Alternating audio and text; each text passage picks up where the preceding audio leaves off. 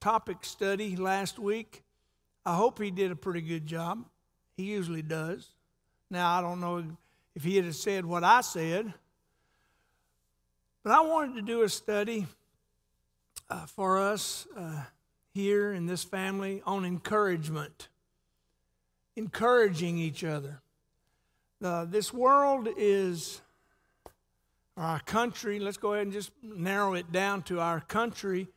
Our country is, is, heading down a road where we need to be able to encourage each other because it is pretty bleak when you start watching the news, watching CNN, watching Fox, watching just the evening news.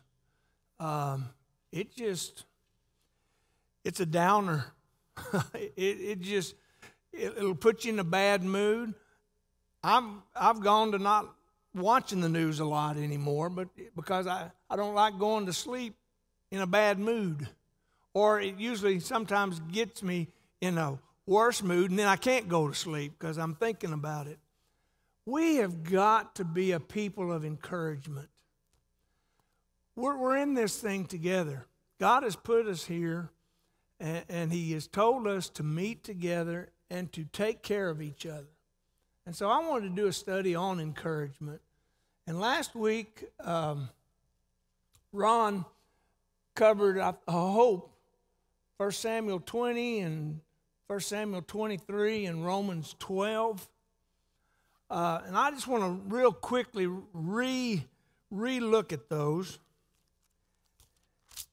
So if we go to Romans 12, and if you'll notice, I'm going to try each week to uh, have down in the corner uh, what we're going to cover next week. So you can write it down maybe and, and, and look it up and, and kind of have your mind already headed where, where we're going to talk about.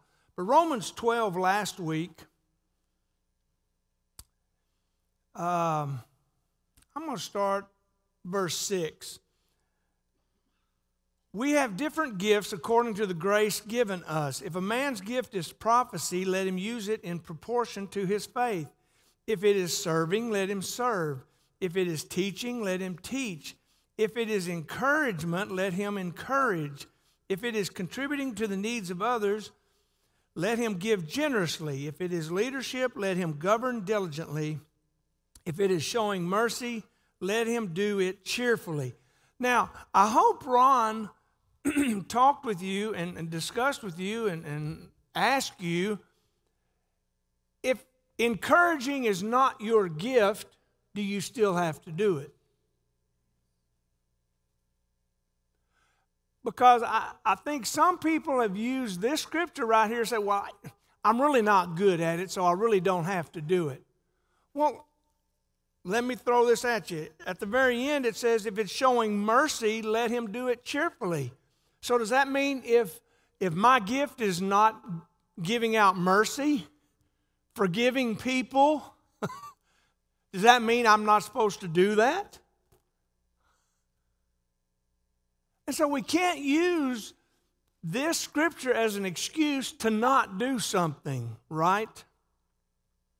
So how, how do we how do we deal with this if it's not my gift?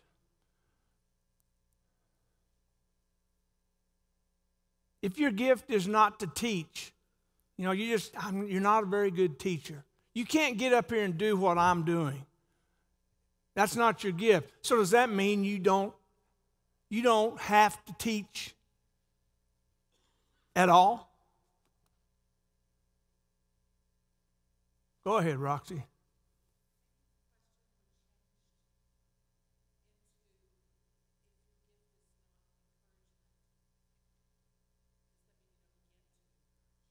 Ah, you don't get to encourage.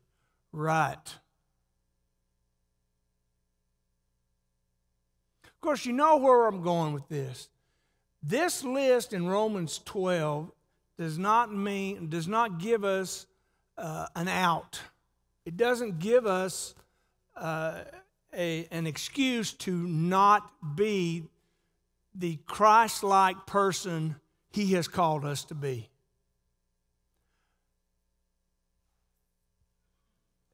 Encouragement could be no words at all, just a hug. And don't tell me you can't hug somebody. Well, I just don't like touching other people. Well, then pat them on the back.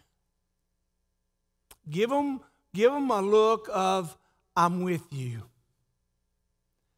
Maybe say a couple of words. You're in my prayers. Everybody can encourage. And I want you to put yourself on the other side of the equation. When you are down on your knees, hurting so bad, and nobody comes and gives you an encouraging word or a hug or a pat, how do you feel?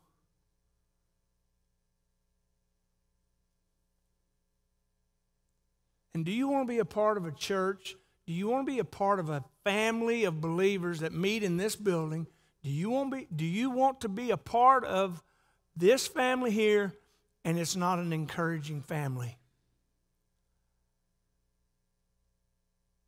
I bet you that if you're down on your knees hurting and nobody from this family encourages you, you probably won't come to church here anymore or want to be a part of this family here anymore. What do you think? You wouldn't feel like part of the family.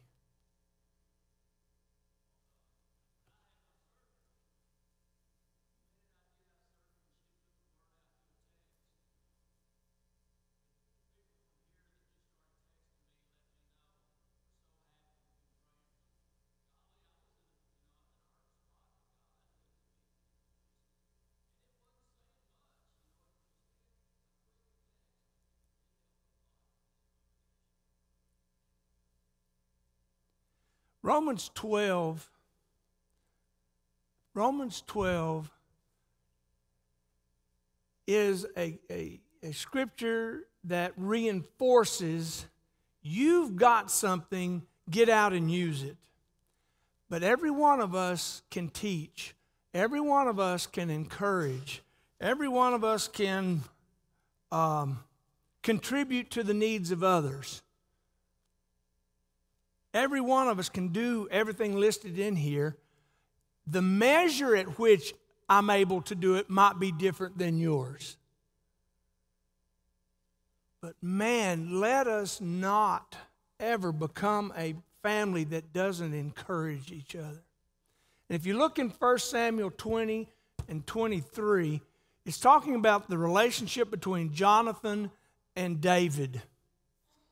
David has not ascended to the throne. Jonathan is next in line behind his dad Saul. And these two scriptures talk about how Jonathan, pardon me, how David has been run out of the city by Saul. And Jonathan still meets with him secretly and encourages him and tells him, I'm not going to be the next king, David. You are and you have my blessing, and you have my encouragement, and you have my support because you're going to be the next king. And he encourages David when David is in a low place. Everything's gone wrong for him. And Jonathan, the son of the king, encourages him about it. And so it's very needed. Now, let's come to today's Have you ever had someone trying to encourage you and they just didn't have the right words? They just said it all wrong. Did that ever happen? A lot of times it happens at funerals. Someone has passed.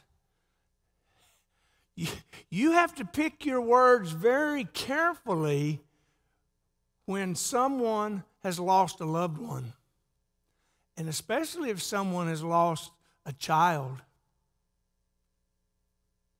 I don't think it'd be a good thing to say they're in a better place.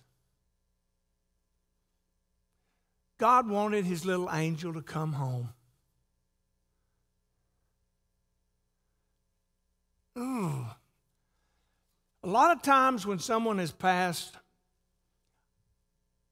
all I say is, I'm hurting with you. And I give them a hug. That's a very safe thing to say because hopefully you are hurting with them. But don't try to explain what's going on.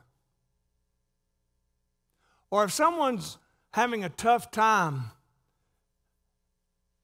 maybe at work, maybe at church, anything, and, and you say, oh, well, this will just blow right on by. Well, right now, it's not blowing right by. I'm just in a pretty terrible mood, and it's right now, it's not blowing by. It's right here in my face. Choosing the right words. We've got to learn how to encourage and say the right words because we don't want to be hurtful. And sometimes it's a fine line. Well, let's look at this. Proverbs chapter 12, chapter 16, and chapter 25. Let's look at those real quick. I think you know what these say before we even go there. And I'm in 1 Samuel. That's not Proverbs, is it? Psalms, Proverbs, Ecclesiastes. Got to go through my Bible class song. Proverbs 12, verse 5. Is that right? No, 25. Woo. An anxious heart weighs a man down, but a kind word does what to him? Makes him glad. What's another way it says? Happy. Cheers him up kind words. Now, sometimes I'm not wanting to say kind words to somebody. But is there a way I can turn my words to where they're kind as well as what needs to be said? But how many of us, and I'm raising my hand because back in my coaching days, whoo, man, some stuff came out of my mouth before it, it processed up here. And they were not kind words. And they were biting words. And they were tearing down, excuse me, tearing down words. And sometimes to my athletes, to children, to kids, to teenagers. Man, we got we need to process what's going on turn our words into kind words, yet we can still get the point across. And that usually happens when we slow down and when Craig slows down and processes it first. Processes first. Let's go to chapter 16. Verse 24. For those of you who are way on the wings and can't read my board. Alvin. 1624. Pleasant words are a honeycomb, sweet to what? Sweet to what? Where's the soul? Down deep inside of somebody. Pleasant words are sweet all the way to the core of a person. And healing to the what? To the bones. And where are your bones? At the center of your body, correct? Pleasant words are sweet and healing all the way to the inmost part of people.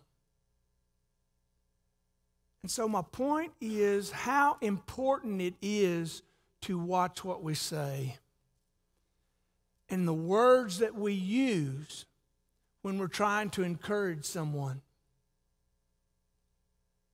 Because a wrong word will damage the deep inner part of the person you're trying to encourage or talk to. Well, then I want to kind of switch it up here and go to 2 Timothy.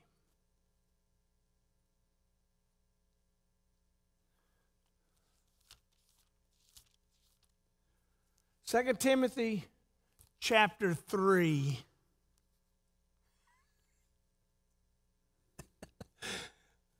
Starting in verse 16.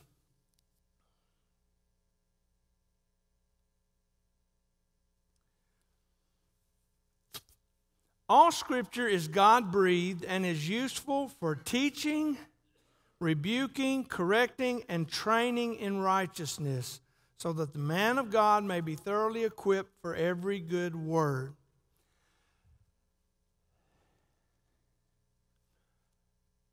Let's go to chapter 4, verse 2. Paul is telling Timothy these things. Preach the word, be prepared in season and out of season, correct, rebuke, and encourage with great patience and careful instruction. Now, my question is can rebuking and correcting be encouraging?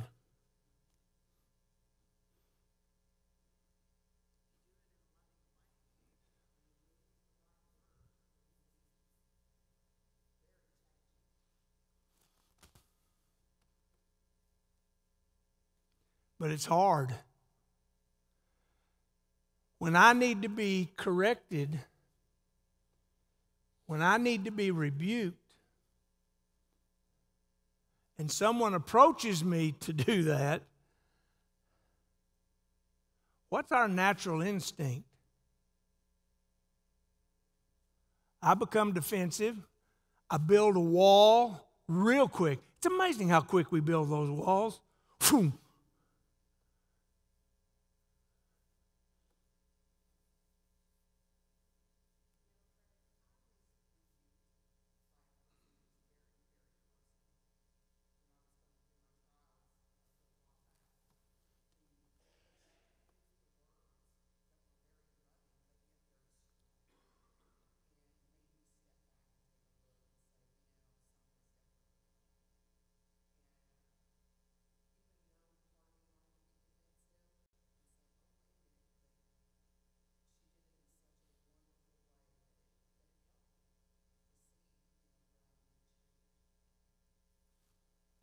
Did Jesus rebuke? Did Jesus correct? Look at his apostles and look at specifically one apostle. What's his name? Peter. Peter's foot was in his mouth a lot, wasn't it? And one time, Jesus rebuked him very harshly, didn't he? Get behind me. Not Peter. Get behind me, Satan. Now, I think that is one of the most revealing things about encouragement and rebuking or correcting. Jesus told Peter, Get behind me, Satan, not Peter because Jesus knew who Peter was listening to or reacting with, and that was Satan. And how many times do we do that? We start reacting and we start doing things that Satan is telling us to do. And how many times do we, and sometimes we don't.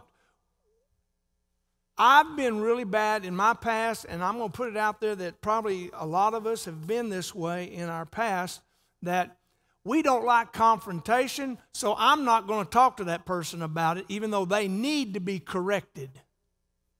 Because it, it puts tension in the room, doesn't it? Ah, we don't like tension. We don't like confrontation. And so we're not even going to talk to them. But if we ever got the strength enough to go and confront someone about sin or something wrong in their life, um, how many times do we say, you need to, and you need to do, and, and we really need to say, you know, Satan's, uh, Satan's got a hold of you. And we've got to throw Satan out instead of going, you, you, you. And I've done that. I have gone to someone and you really need to change the way you're living. You're, you're making some poor decisions in your life. Instead of getting to the point of, you know, Satan is, is really working right now in this situation. And I'm here to help you, and I'm, I'm here so we can work together so we can get Satan behind us. Instead of just jabbing, jabbing, pointing the finger, pointing the finger, come in there as a helper, as an encourager for someone to correct behavior. Saying the right words. Get behind me, Satan. We are called to hate the sin, but love the person who is in sin, right? And I think for too long, I, and maybe some of you, have been guilty of putting out where it looks like we hate the person too and the sin by the way we say things. Oh, it's so important how we say things to encourage someone to get their life right. It is so important that we say the right words. And it all has to be dripping with love. It has to be dripping with the voice of Jesus through us. Because we are called to be Jesus here, now, aren't we? We have to be Jesus to people. Rebuking, correcting, and encouraging. And I think he, right here where he's talking to Timothy in, in chapter 4, with great what?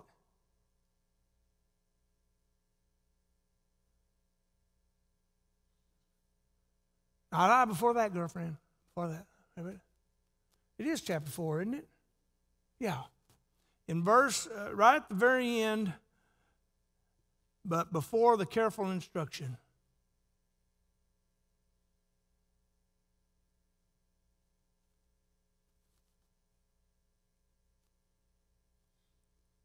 Now, just because I rebuked her, she was wrong. That y'all, y'all, don't be scared to say something, Sandra.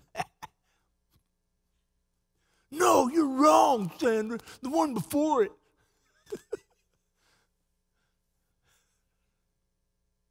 With great what? Patience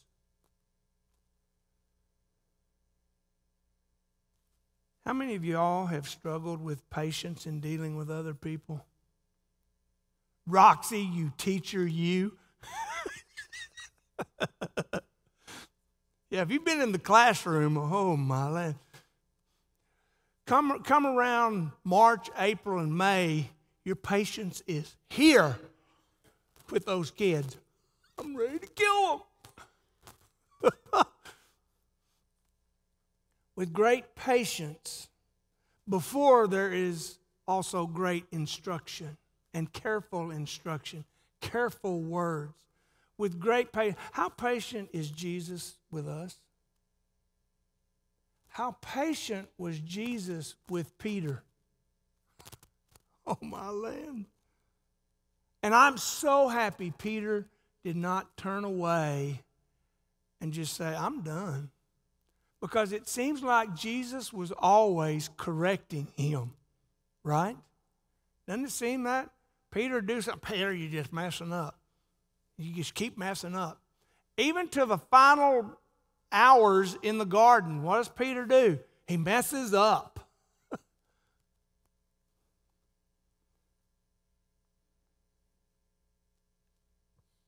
and when the rooster crowed three times, and Peter had even messed up one more last time, he wept bitterly. He wept bitterly. But he knew the patience of Jesus, didn't he? And how patient is Jesus with us? The same way. The same way. And that needs to be in our mind when we go to encourage someone, especially if we're trying to correct and rebuke. It is so important to remember how patient Jesus is with me. I must reflect that same patience with the person I'm trying to correct and rebuke. And it will be an encouragement then. It will be an encouragement as well as a lesson for them in the way that I approach them. And it's so, so important. Hebrews 12, Hebrews 12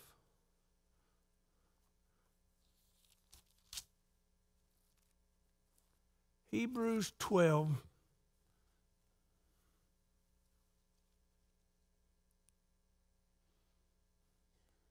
The Hebrew writer gets pretty strong about this subject here in verse 4. In your struggle against sin, you have not yet resisted to the point of shedding your blood.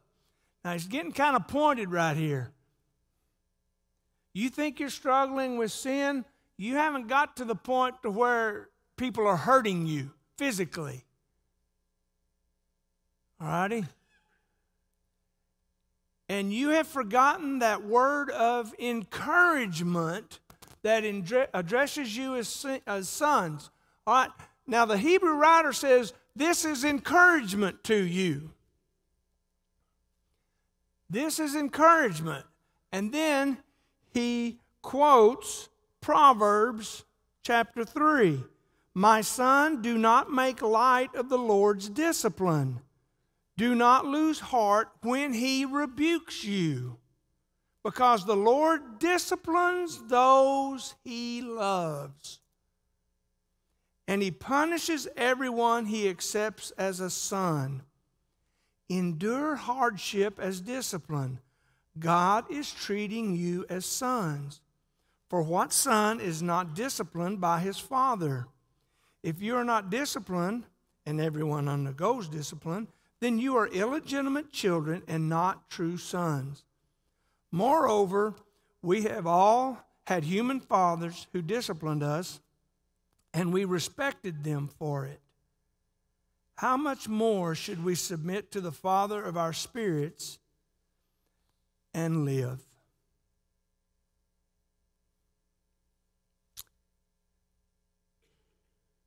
The word of encouragement that, is, that addresses you as sons. This was a word of encouragement to people who were going through some tough times. God has not left you. Your Father has not left you. And it's a word of encouragement. And I want us to turn this around to where we do the same thing.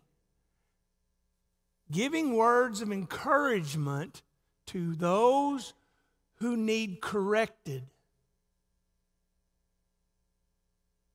And it makes it so much easier. Yes, there probably will still be tension in the room.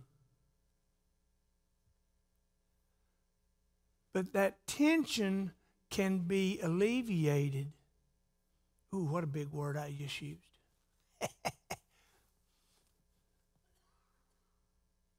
that tension can be drained away with love.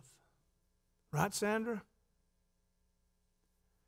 That tension can be completely melted away with a spirit and a heart of love in our encouragement. while we are correcting and rebuking. And how you choose the words you use will determine how quick the tension melts away. And there's so many ways that you can use your words to build up as you are correcting and rebuking. And it always helps. This is just Craig's little tidbit, okay? Take it or leave it, throw it out, whatever.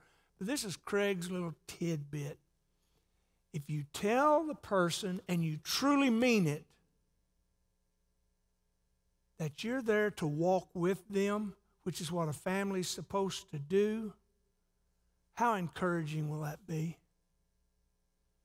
To tell someone you don't have to walk this road by yourself. I'm there for you. And then you have to be there for them. That is what community of faith, that is what family of faith, that is what the church is supposed to do. And I'm not talking about the building, I'm talking about us in the building. That is what we are called to do to walk with each other through the hard times, through the Satan's hammering us on the head, through the correcting of each other, through the rebuking of each other, through the helping each other through the, a death, a close person who has died. We are told to walk with each other and just let somebody know and then be there for them. Don't just give them hollow words. I'll walk with you. I'll walk with you. Share each other's joys. Share each other's disappointments and hurts. And how encouraging will that be? Can you think of that person who didn't say the right words, but you knew their heart? And even though it stung at first, you just go, I know they meant well, it's just their mouth got in the way.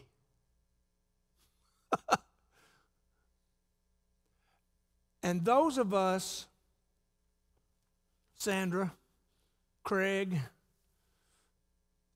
I won't call anybody else. I just know I can I'm safe with Sandra. But those of us who are mouthy, those of us who are mouthy, those of us who really put ourselves out there, and, and, Sandra and I do that, we put our foot in our mouths a lot of times. And so I ask for your forgiveness and your mercy on me, and to please see past my mouth and see my heart. I'm trying to encourage you, even though sometimes it doesn't work because my mouth gets in the way. But like I said earlier, sometimes it doesn't have to be a word.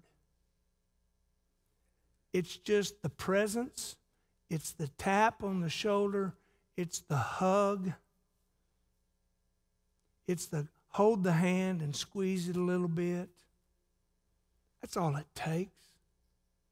And I want us to be a people who do that.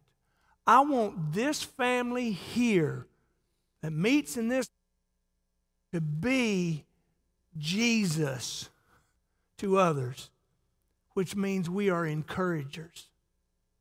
Jesus knew back in then, and he knows now how tough it is in this life on this earth. He knows how tough it is. But He has showed us how to encourage each other. And that's one of the reasons, and we'll talk about it more later. That's one of the reasons why we meet on Sunday mornings. That's why we meet in life groups. That's why we meet on Wednesday nights so that whoever can make it can come in here and get encouraged. That's our purpose. That's part of our purpose. Matthew 12. Let's get there. And then we'll call the end. And then next week we'll study Acts 4, 2 Corinthians 8, and Acts 11. And probably maybe some others that I sometimes come up with as I study. But let's look at Matthew 12. And this is very sobering in our study about using the right words in our encouragement. Matthew chapter 12, verse 36. Well, I'm, I'm going to go up to the middle. Uh, um, I'm going to start in verse 34. Jesus is talking to the Pharisees, but he's also talking to us. You brood of vipers, how can you who are evil say anything good? So that's, that's number one. You need to get stuff going in yourself that's good, right? And not evil. That's the first thing that's got to happen in this encouraging thing. You got to get stuff in you right. But here we go. For out of the overflow of the heart, the mouth speaks. The good man brings good things out of the good stored up in him, and the evil man brings evil things out of the evil stored up in him. But I tell you that men will have to give account on the day of judgment for every careless word they have spoken. For by your words you will be acquitted, and by your words you will be condemned. Is that not sobering? And this isn't talking about cussing or using the Lord's name in vain. This is beyond that. This is how are we using our words to encourage or to tear down? And I will be one of the first to admit my words have torn some people down in my past. And I hope and I pray for forgiveness from the person that I hurt and from God. That's what I hope and pray for. Because I will have to give an account of the words I use. And I pray that Jesus and the Holy Spirit will help me use my words to encourage, not to tear down. And that's what this study is all about. For us to be encouragers, not tearers down. I hope you were blessed this morning. We're now going to meet and worship God as a group and pray and sing. So let's worship God at this time. Thank y'all so much for being here to study God's Word.